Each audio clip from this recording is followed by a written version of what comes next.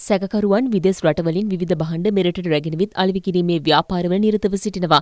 අවුරුදු 23 සහ 38 වයස්වල පසුවන සැකකරුවන් වැඩිදුර විමර්ශන සඳහා ගුවන් තොටුපළ රේගු නිලධාරීන් වෙත බහර දීමට පියවර ගැනුණා.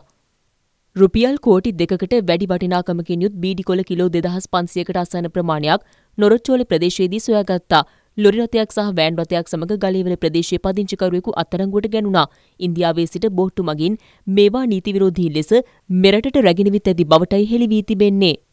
බෙලියත්ත නගරයේ සිදු වූ අනතුරකින් පුද්ගලයෙකු මිය ගොස් පස් දෙනෙකු තුවාල ලැබුවා. මෝටර් රථයක් සහ ලොරි රථයක් ගැටීමෙනුයි අනතුර සිදු වුණේ. අනතුරෙන් මිය ගියේ බෙලියත්ත වහරක්ගොඩ ප්‍රදේශයේ පදිංචිව සිටි 72 හැවිරිදි පුද්ගලයෙක්.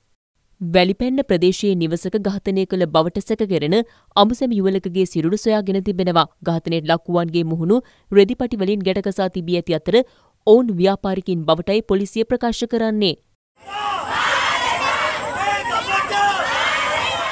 බදුල්ල මිල්ලගම් ප්‍රදේශයේ ආරම්භ කිරීමට සූදානම් කර ඇති මත්පැන් අලෙවි සැලකට විරෝධය පළ කරමින් ජනතාව මාර්ගය වසා උද්ඝෝෂණයක නිරත වුණා. අධිසුකෝපභෝගී ජීප් රථයක් ලුණුගල හොප්ටන් කළුගහත යන ප්‍රදේශයේ විදුලි බලාගාරයක් ආශ්‍රිත ප්‍රදේශයක සංගවා තිබියදී පොලිසිය සොයාගත්තා.